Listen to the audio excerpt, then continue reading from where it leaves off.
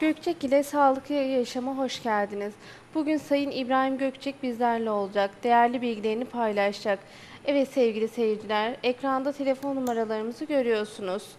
İbrahim Bey'e sorularınız için 0212 621 21 65'ten ulaşabilirsiniz. Hoş geldiniz İbrahim Bey. Hoş bulduk. Bugün hangi hastalıkları konuşacağız? Evet, öncelikle sağlıklı beslenme, Evet.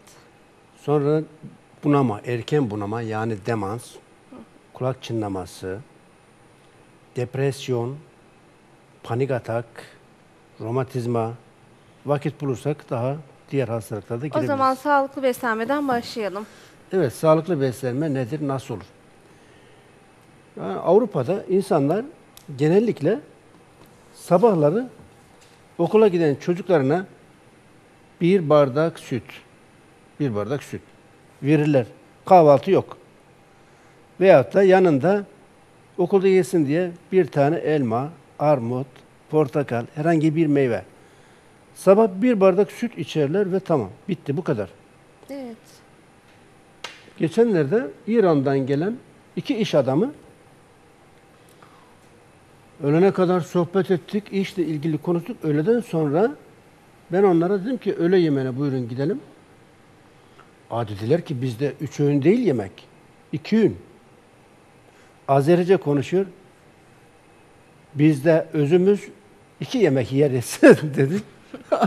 Özünüz iki yemek yerse siz neden üç, üç öğün yemek yiyorsunuz dedi. Peygamber Efendimizin sünneti iki öğündür dedi. Azeri. Teprizli Mahmut Bey e, doğru söylüyorsun dedim. Biz neden üç öğün yiyoruz? Siz neden üç öğün? İran'da, Pakistan'da, Hindistan'da, Endonezya, Malezya birçok İslam ülkesinde sabah süt içilir. Bir bardak süt. Akşam da yemek yenir. Öyle yemeği yoktur. Veya varsa da çok hafif bir şeyler yenir. Avrupa'da da hemen hemen aynı. İnsanlar sabah süt içer, öğlen hafif bir şey yer, bir de akşam yemeği bitti. Yani iki buçuk öğün gibi bir şey yani. Türkiye'de ise son zamanlarda moda oldu. Nedir? Üç öğün, bir de ara öğün. Bu nedir? Üç öğün, bir de ara öğün, beş altı öğün. Bir kişi günde 5-6 öğün yemek yerse yani abur cubur atıştır onu ye bunu ye şunu ye ne olur? Balon gibi şişer. Doğru. Mutfak robotu miksere durmadan yiyecek içecek tıkarsanız çalıştırmaya çalışırsanız ne olur? Bozarsınız. Bizim midemiz mikse değil ki. Çok hassas. Ben Peygamber Efendimiz'in hayatını okudum, inceledim. Altı ciltlik bir kitap okudum. Peygamber Efendimiz'in yaptığı iş şu. Sabah kalktığında bir bardak süt içiyor. Bir bardak süt. Akşam da birkaç tane hurma. Diyeceksiniz ki o peygamber. E, peygamber Efendimiz'i zaten Kara, Karahanlılar, Gazneliler, Selçuklular, Osmanlılar örnek aldığı için adamlar Asya'dan Afrika'ya, Avrupa'dan dünyanın öbür ucuna kadar ne yapmışlar? Aynı anda beş imparatorluk kurmuşlar. Beş imparatorluk. Osmanlı, İran'da Safevi Azerilerin kurmuş olduğu imparatorluk, Türk İmparatorluğu, Orta Asya'da Türkistan İmparatorluğu, Afganistan, Pakistan, şimdiki Afganistan, Pakistan, Hindistan'da Babür İmparatorluğu ve şimdiki Rusya'da Altın Ordu Devleti. Yani atalarımız aynı anda dünyanın yarısından fayda ya fazlasını beş imparatorluk kurarak yönetmişlerdir. Niçin? Nasıl yönetmişler? Bir bardak süt. Bir bardak süt içti, sünnete uymuşlar. Beslenmede sünnete uymuşlar. Beslenmede sünnete uyarsanız hastalık olmaz. Biz neden bugün insanlarımızın hepsinde tansiyon var, kolesterol var, lipid var, triglit var, kalp yetmezliği var, böbrek yetmezliği var, astım var, bronşit var, hastalık var. Çünkü sürekli dolduruyoruz, dolduruyoruz, dolduruyoruz. Sanki midemiz mutfak robotu. Mutfak robotuna bile bu kadar yiyecek, içecek doldursanız ne olur? Patlar, bir tarafı kırılır. Ve insanlarımızın hepsi hasta. Ha, diyeceksiniz ki siz ne yapıyorsunuz? Biz de yavaş yavaş sünnete uymaya çalışıyoruz. İnşallah başaracağız. çok çok zor bir insan sağlıklı beslenme kurallarına uyması. Avrupa'da ben 29 yıl Almanya'da kaldım. Avrupa'da ortalama her insan, her kişi ortalama 1 litre süt tüketir. Süt içtiği zaman kişi sabah bir bardak süt içtiği zaman o gün akşama kadar hiçbir şey yemese Yeterli geliyor. yeterli gelir. Bütün ihtiyacını karşılar. Ha, ben özel bir reçete vereyim şimdi.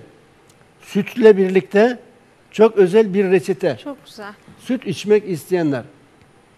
Bir bardak sabah kalktınız süt içeceksiniz. Yarım litre süte bir çorba kaşığı çörek otu, bir çorba kaşığı bal ve bir miktar aloe vera dün getirdik, bugün getirmedik bak. Evet. Bir parça aloe vera katıyorsunuz, kaynatıyorsunuz, içiyorsunuz. Kişiye çok büyük bir enerji verir. Yakında aloe vera'nın biz yapraklarını satacağız şöyle 70 santim. İsteyenlere göndereceğiz. Tanesi 5 liradan, hizmet amaçlı 5 liradan aloe vera yaprağı. Yani bir buçuk iki ay bir kişinin ihtiyacını karşılayacak.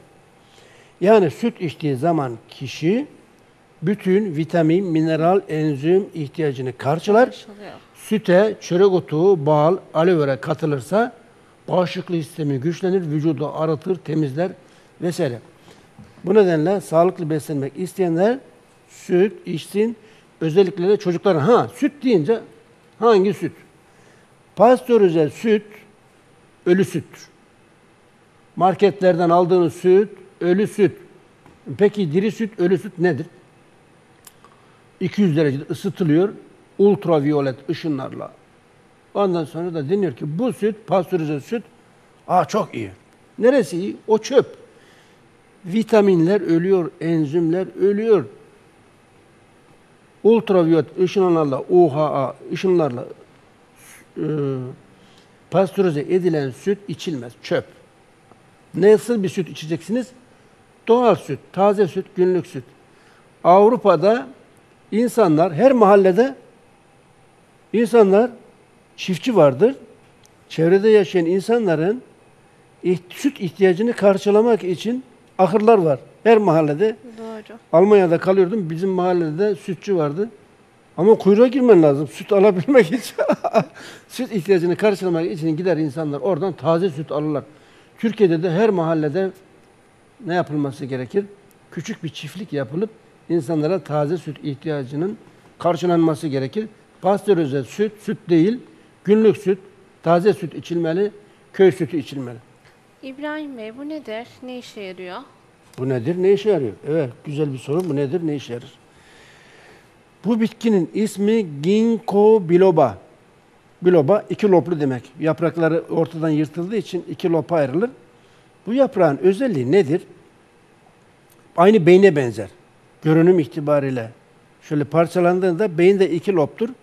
Bu da yaprağı da aynı görünüm olarak beyne benzer. Ne Ben demek? bir de meyvelerini görüyorum İbrahim Bey. Evet, meyveleri de kiraz gibi, kiraz büyüklüğünde ama meyvesi pek Çinliler meyvesini yer ama biz yiyemeyiz. Çünkü alışkın değiliz. Tadı kavurarak bunlar Çinliler her şeyi yerler. Böcekleri de yerler, yılan da yerler, çiyan da yerler. Biz o kadar şey değiliz. Yani biz yemeyiz, dikkat ederiz. Bu ginkgo biloba ağacının yaprağının birleşiminde ginkoloid denen etken maddeler var. Ne işe yarıyor? Ginkoloid. Ginkoloidler beyne kan akışını artırır. Yani beynimizi besler. Evet. Beyne vitamin, mineral, enzim akışını artırır. Pıhtılaşmayı önler. Ginkgo ile ilgili klinik araştırması. Bu klinik bir, akademik bir dergi. Magazin dergisi değil. Burada yapılan klinik araştırmalarla ginkgo, ginkgo ile ilgili yüzlerce araştırma yapılmış. Yapılan klinik araştırmalarda benim yazmış olduğum şu kitapta da, bu kitapta da çok ayrıntılı bilgi var. Mesela Ginkgo ile ilgili. Ginkgo ile ilgili birkaç örnek verecek olursak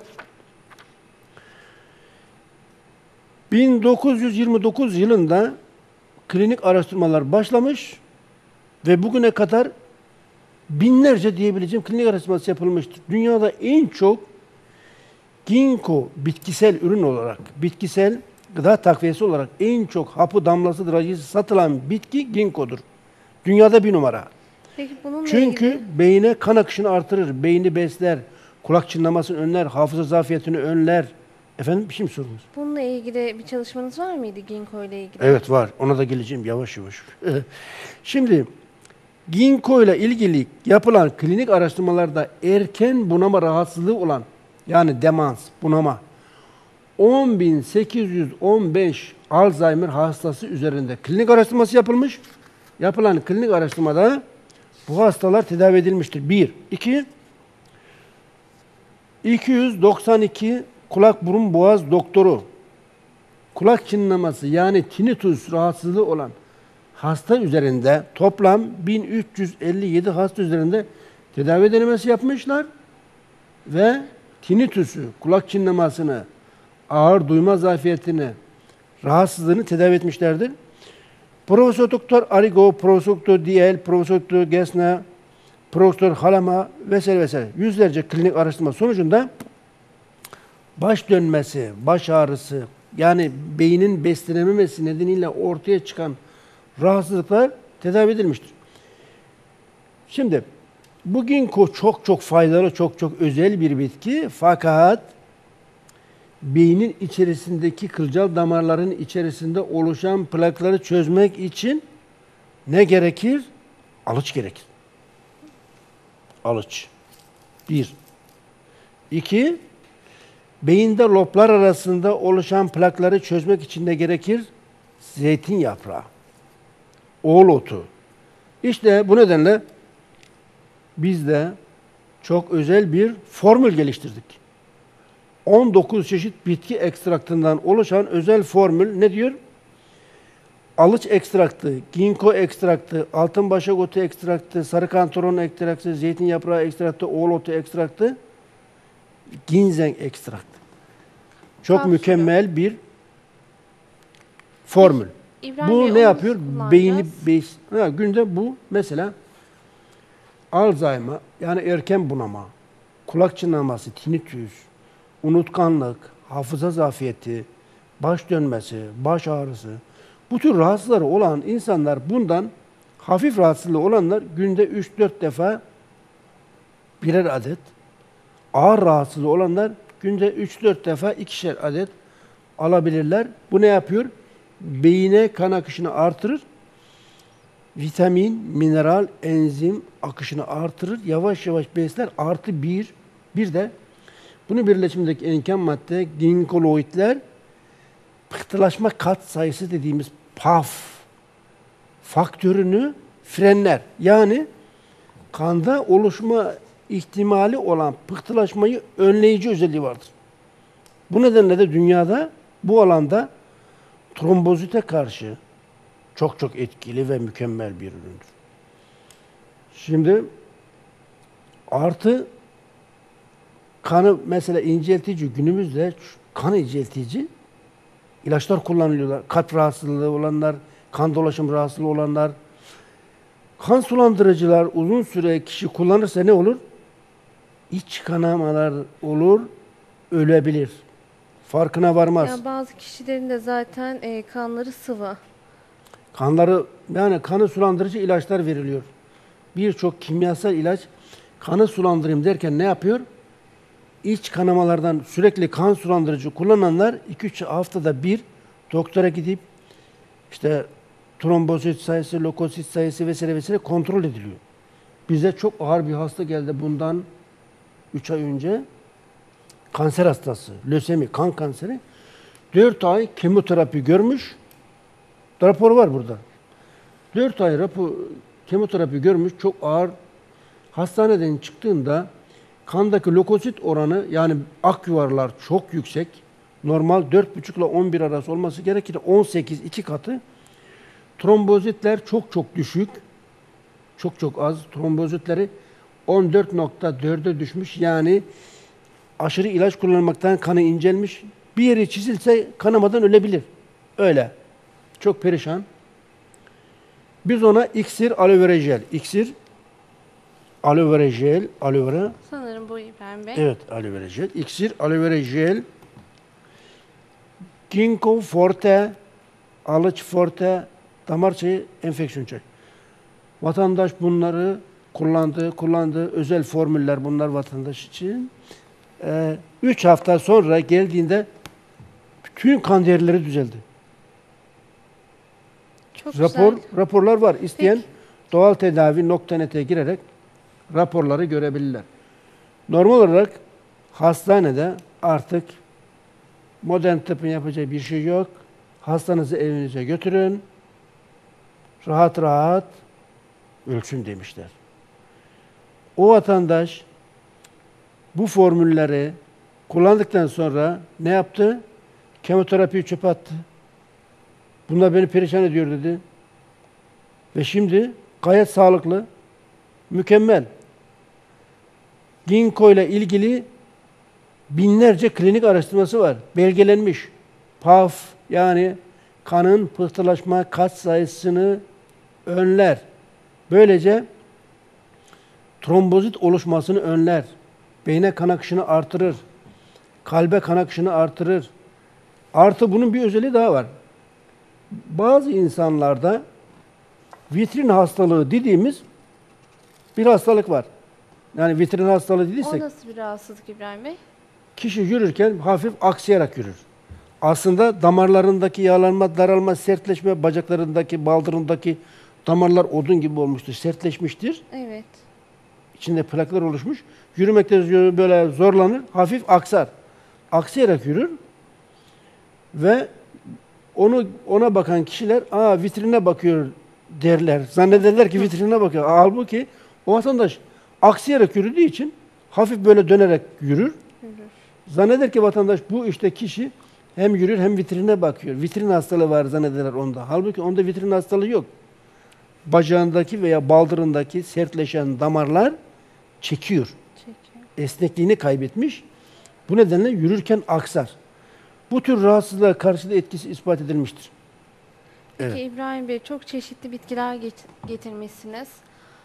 Bu nedir? İlgimi çekti.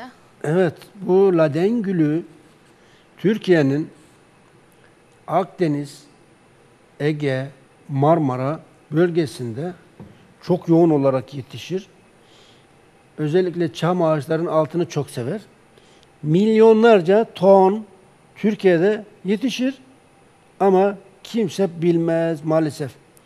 Almanlar bunu, Türkiye'de bitki yetişir, Almanlar bunun klinik araştırmasını yapılıyor. Çok üzülüyorum. Neden? Bizim ülkemizde yetişen bitkinin klinik araştırmasını biz yapmalıyız. Doğru. Saarland Üniversitesi'nden Profesör Doktor Günte Wiese bu bitkiyle ilgili yapmış olduğu klinik araştırmasında atopik egzama yani alerjik, sulu, kaşıntılı, kabarcıklı alerjik egzamaya karşı etkili olduğunu belgelemiştir. 95 çeşit, 95 çocuk üzerinde klinik araştırması yapmış. Yapmış olduğu araştırmalarda alerjik egzamayı, atopik egzem denir, iyileştirdiği belgelenmiştir. Biz ne yaptık? Evet, Doktor, Profesör Doktor Günte Wiese klinik araştırması yaptı. Biz onun yaptığı araştırmadan daha mükemmelini yaptık. Ne yaptık? Özel bir formül geliştirdik. Nedir bu formül? Atopik eksema, alerjik eksemaya, besin alerjisine karşı çok etkili bir ürün. Laden gülü ekstraktı, sinirlot ekstraktı, papatya ekstraktı, nane ekstraktı, kimyon ekstraktı, sarı kantaron ekstraktı. Çok özel bitki ekstraklarından oluşan her türlü eksemaya karşı etkili bir formül geliştirdik. İbrahim Bey benim de annemin alerjisi var. Bununla ilgili sadece onu kullanması yeterli oluyor mu? Ek bir takviye de veriyor musunuz? A- Alerji farklı bir durum. Alerji tabii atopik eksemada bu çok çok mükemmel etkili. Fakat polen alerjisi, besin alerjisi, alerjik astım, atopik eksem, kurdeşen gibi alerjik hastalıklarının sebebi yüzde on midedeki bakteriden kaynaklanır. Yüzde doksan bağırsaktaki mantarlar. Normal olarak sağlıklı bir insanın bağırsağında 2 kilo ağırlığında 100 katrilyon bakteri var. Bu bakterinin yüzde 99'u faydalıdır. Kişi antibiyotik, antihistaminik, antidepresan gibi kimyasal ilaç kullanıyorsa bağırsaktaki faydalı bakteriler azalır, zararlı bakteri ve mantarlar çoğalır. Zararlı bakteri ve mantarların üretmiş olduğu toksik maddeler bağırsakları yakar. Bağırsaklar yanarsa, kavrulursa ne olur? Bağırsaklar kendini korumak için çok yoğun bir yağ tabakası oluşturur. Yağ tabakası oluşursa bağırsaklarda bağırsakta yeterli ve kaliteli enzim salgılayamaz. Mesela örnek olarak diamino oksidat isimli enzim oranı azalırsa histamin sürekli yükselir. Histaminin yükselmesi kişide polen alerjisi, besin alerjisi, alerjik astım, atopik eksem, kurdeşen gibi alerjik hastalığı, deri hastalıklarına sebep olur. Buna karşı ne yapılabilir? Biraz önce söyledim. İksir. İksir damarları açar. Bütün kalp damarlarını, beyin damarlarını, karaciğer yağlanması, pankreas yağlanması. Aloe vera jel ise bağırsaktaki mantarları yok eder. Bağırsaktaki mantarlar yok olursa ne olur?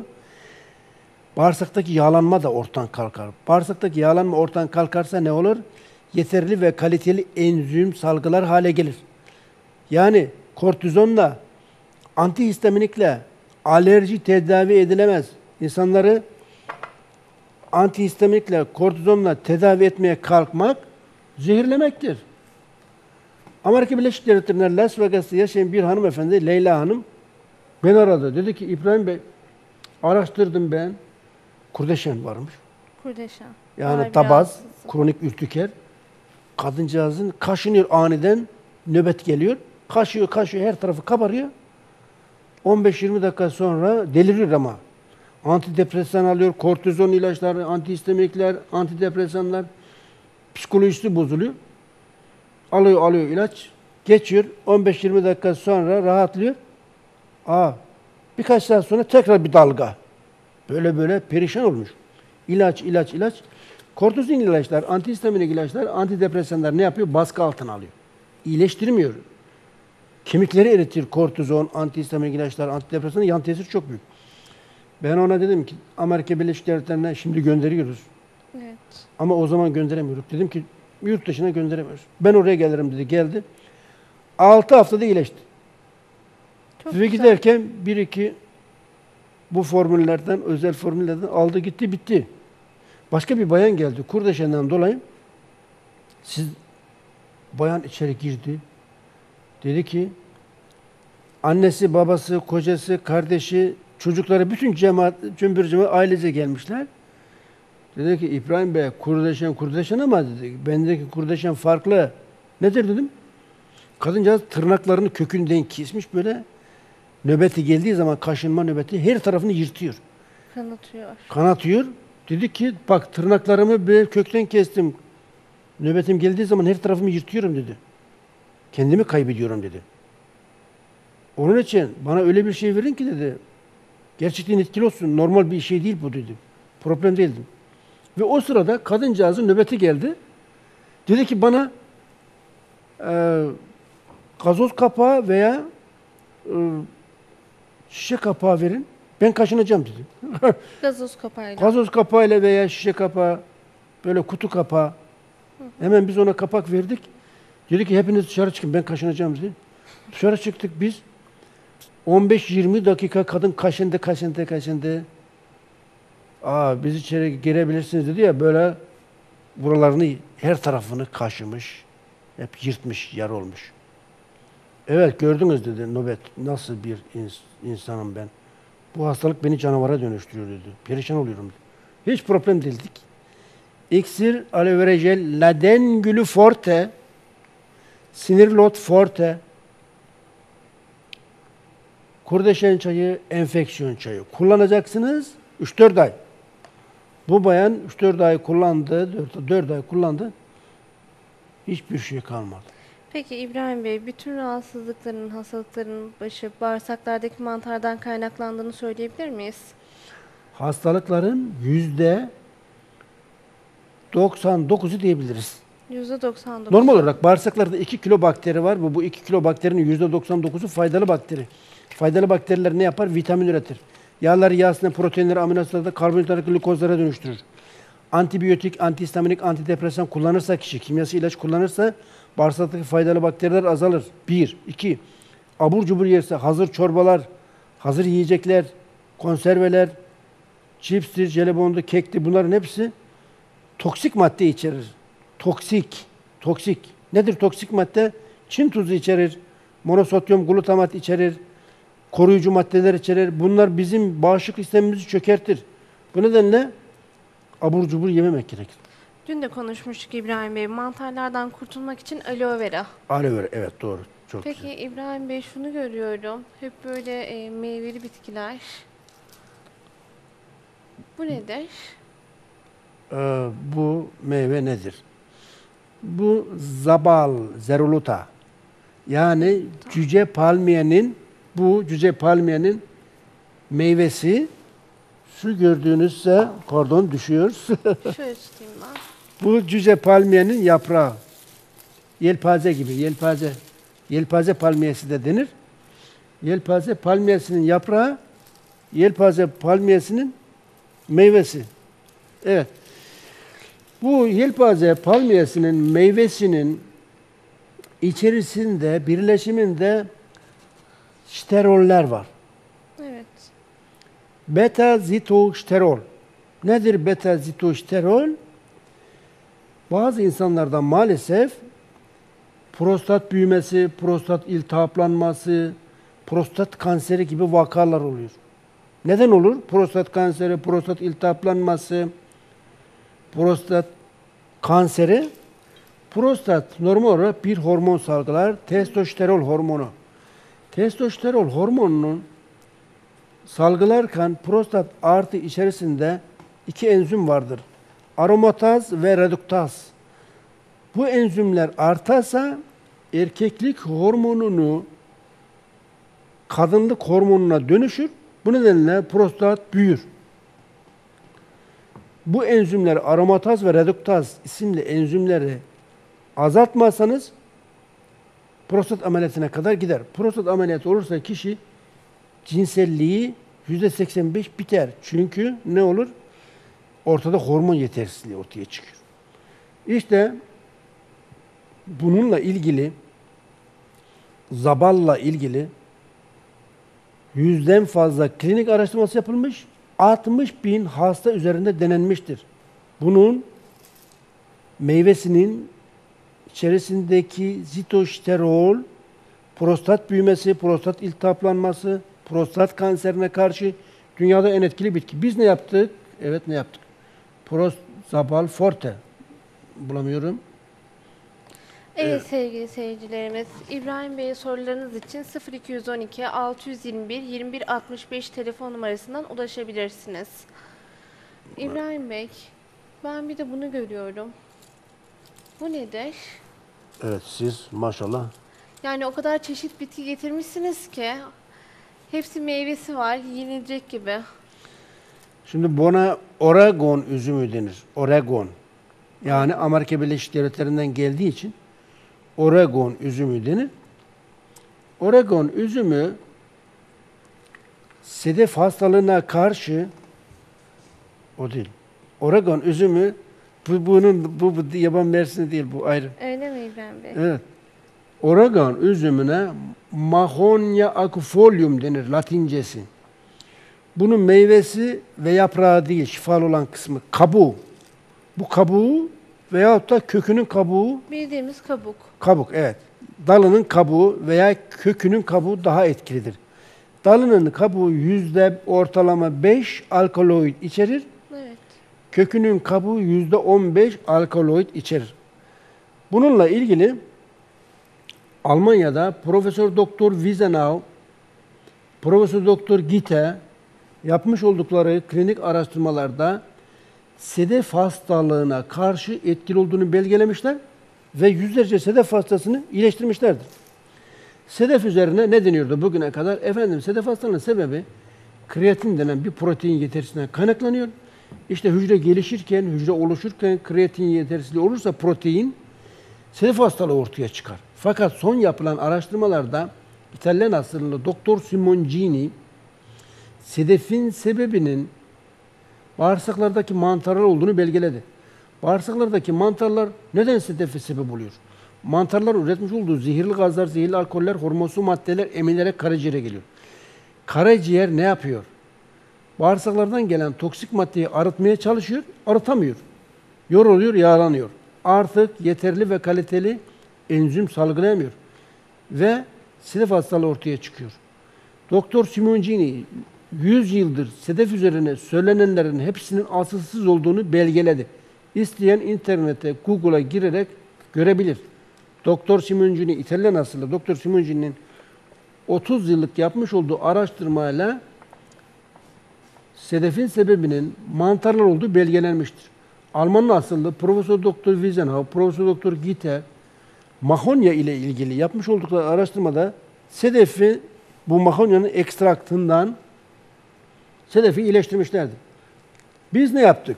Dünyadaki yapılan klinik araştırmaları inceledik. Sedefe karşı mükemmel bir formül geliştirdik. Nedir o formül? Mahonya forte. Mahonya'nın birleşiminde mahonya ekstraktı, laden gülü ekstraktı, laden gülü biraz önce bahsettim. Evet, O da atopik eksemaya karşı. Bey? Evet. Sinirli ekstraktı, adaçayı ekstraktı, mercan köşk ekstraktı, lavanta, sarı kantaron 19 çeşit bitki ekstraktı Peki içerir. İbrahim Bey bütün bitkilerin içerisinde yani yapmış olduğunuz ürünlerin içerisinde 19 çeşit bitki mi var? Bu bizim formüllerimiz 19 çeşit bitki ekstraktından oluşur. Neden? Neden? Bismillahirrahmanirrahim Dün söylemiştiniz. kelimesi 19 harften oluşur. Bu da bize böyle nasip oldu. 19 harfi yani kullanırken Bismillahirrahmanirrahim demeyi unutursa kişi otomatik Bismillahirrahmanirrahim demiş gibi oluyor. O niyetle yapıyoruz yani. Çok Evet. güzel. Sedefe karşı dünyada en etkili bitki mahonyadır. Bizim bununla ilgili yapmış olduğumuz çalışma çok özel bir formül. Mahonya forte. Çok Peki, çok mükemmel bir İbrahim Bey, formül. sedefin dışında e, bütün cilt rahatsızlıkları için kullanılabilir mi? Sonuçta Mahonya Forte hani sedef için diyorsunuz ya. Ha tabii rahatsızlıklar farklı farklı. Şöyle mesela çok güzel bir soru sordunuz. Mesela diyelim ki Seboreid dermatit. Seborrheic dermatit yani eksema. O zaman ne yapmak gerekir? Güzel bir soru. Cadı fındığı diye bir bitki var. Cadı fındığı. Cadı fındığı. Latincesi Hamemelis virginiana. Amerika Birleşik Devletleri'nin vatanı Virginia eyaleti olduğu için buna Hamemelis virginiana denir. Hamemelis virginiana yani cadı fındığının yaprak ve kabuğu aynı oranda kullanılır. Yüzde elli, yüzde elli. Yaprak ve kabuğunun ekstraktından yapılan damlalar, drajelerle ilgili yüzlerce klinik araştırması var. Bununla ilgili benim kitapta, yazmış olduğum bu kitapta çok ayrıntılı bilgi var. Biz ne yaptık? Hamemelis forte diye bir formül geliştirdik. Ekzemaya karşı. Şimdi laden gülü atopik alerjik ekzemaya karşıydı. Mahonya forte sedefe karşı, seborik dermatite karşı ise ve Tamam. artı bunun bir farklı özelliği daha var. O da nedir? Bebeklerde gözüken pişik. Bebekleri ne yapıyoruz? Sarıyoruz, sarmalıyoruz. Hava almıyor. Poposu veya cinsel genital bölgesi ne oluyor? Pişiyor, Pişiyor. yanıyor veya ağız içerisinde vücudun çeşitli noktalarında pişikler oluşuyor. Pamukçuklar oluşuyor. Bu Hamemelis virginiana ekzemaya karşı dünyada en etkili bitki. Bununla ilgili yüzlerce klinik araştırması yapılmıştır. Etkisi ispat edilmiştir. Çok çok güzel, çok özel. Alerjik, atopik eksemeye karşı da aynı laden gülü gibi etkili. Bu özelliği de var. Yani İbrahim Bey, sadece seborik dermatit değil, atopik dermatit. Bakıyorum da kitabınızda bütün rahatsızlıklarla ilgili e, yazmışsınız. Bütün rahatsızlıklarla ilgili var değil mi burada bilgi? Şimdi şöyle yani bu kitabı biz, ben yani ben biz diyorum da yani bir grup değil kendim hazırladım. Biz demek biraz şey kaçıyor yani Allah korusun kibir ve gururla kapılmak iyi değildir. O bakımdan. Ee, şimdi bu kitabı 27 yılda tamamladım. 27 yılda. 1980 yılında başladım. Aslında kitap yazmak gibi bir niyetim yoktu. Ama almış olduğum notlara baktım da o Ben bir kitap yazabilirim dedim. Yazdım. Kitabı bitirdim. Elime aldım. Dur dedim ben buna klinik araştırmaları da ekleyeyim. Dünya çapında yapılan bütün klinik araştırmaları inceledim. Binden fazla klinik araştırması. Bunun, bu kitapta mevcut. Artı bitkilerin açık formülü hiçbir kitapta olmayan bugüne kadar bu kitap son bin yılda yazılan İbn Sina'dan bugüne kadar ilk ilmi kitaptır. Bu mesela ginkgo. Ginkgo'nun birleşimindeki etken madde. Aha, telefon çaldı. Buyurun. Hoş geldiniz. Buyurun. Günler, hayırlı programlar. İyi günler, iyi pazarlar. Buyurun. Ee, benim size bir sorum olacaktı. Tabii İbrahim Bey. Buyurun. Ee, şimdi bende e, kaşıntı alerji var. Ee, efendime söyleyeyim ama kaşınırsa öyle normalde iki saatte bir e, İbrahim Bey'in dediği gibi e, nöbet gibi geliyor ama öyle tabii hırçın bir şekilde değil. E, fakat geri kalkıyor gibi oluyor her kaşıntıda. Aa, problem değil. İksir, aloe vera jel, bu gördüğünüz özel formüller geliştirdik. Alerjiye karşı verebilir misiniz? Tabii ki. Buyurun İksir, aloe vera jel, biraz önce bak, bahsettim. Hamemelis, sinirli ot, alerji çayı, enfeksiyon çayı. Takriben kaç yıldır rahatsızlık var sizde? Buyurun hocam. Valla aşağı yukarı var 6 yıldır. O zaman takriben 3-4 ay kullandığınız zaman iksir, aloe vera jel, hamemelis forte, ladengülü forte, alerji çayı, enfeksiyon çayı hiçbir şeyiniz kalmaz. Yani tertemiz olur. Vücudu arıtmak gerekir. Bağırsaklara yerleşen mantarları yok etmedikçe alerjinin sebebi %90 bağırsaktaki mantarlar, %10 midedeki bakteri. Eğer gastrit varsa tonik de gerekir. Gastrit yoksa, gastrit ülser, midenizde problem yoksa bunlar yeterli. Kullandığınız zaman hiçbir şeyiniz kalmaz. Geniş bilgi için burada yazılan telefon numarasını biz sizi ararız arkadaşlar not alırlar. Arkadaşlar notlarını Hadi alırlar. Aysel Hanım görüşürüz. çok geçmiş olsun. İyi pazarlar. Evet İbrahim Bey nerede kalmıştık? Evet. Şimdi Ben bir de sizin yanınızda çok çeşitli bitki görüyorum. Onlar nedir? bunlar nedir? Şu gördüğünüz bitki sarı kantaron. Sarı kantaron üzüntü, sıkıntı, stres, panik atak, depresyon, endişe, korku. Dünyada ginkgo'dan sonra en çok damlası drajesi yapılan, satılan bir üründür. Konsantrasyon zafiyeti. Sarı kantaronun birleşiminde yüzde bir oranında hipeforin içerir. Hipeforin beynimizdeki hormonların salgılanmasını sağlar. Dört çeşit hormona etki yapar. Bir, serotonin hormonu salgılanmasını artırır. Serotonin hormonu kişiye mutluluk verir, neşe verir, huzur verir. İki, noradrenalin hormon salgılanmasını sağlar. Noradrenalin dikkat dağınıklığını önler. Okulda okuyan çocuklar için çok çok ideal. İlkokuldan üniversiteye kadar okuyan insanlar mutlaka sarı kantaron damlası drajesi kullanması gerekir. Mesela imtihana girmeden önce kişi herhangi bir imtihan sarı kantaron damlasını drajesini kullanırsa bildiği her şeyi yazar. Hiçbir şey unutmaz. Dikkat dağınıklığını önler. Sakinleştirir, teskin edişir, endişeyi, korkuyu atar, kişiye güven verir. Mesela başka bir program, televizyon programında bir sunucu stüdyoya girdiği zaman böyle surat iki karış, sanki stüdyoya kaplan girmiş gibi çok hırçın böyle bakıyordu. Herkes korkuyordu. Ya gene bir şey, ya bugün morali bozuk gene bir şey yapacak, gene kızacak diye. Ne oluyor dedim ben. Dedi ki abi çok sinirliyim. Niye? Ya dedi panik oluyorum, işim çok. Sabahtan akşama, gece yarısına kadar koşturuyorum, geriliyorum, geriliyorum. Sonra da geliyorum bu stüdyoda çalışanlara kızıyorum dedim. Sakin ol dedim. Sana çok özel bir formül. Sarı kantaron forte. Üzüntü, sıkıntı, stres, gerilim, korku. Birinci, ikinci dereceden depresyona daha iyi gelir.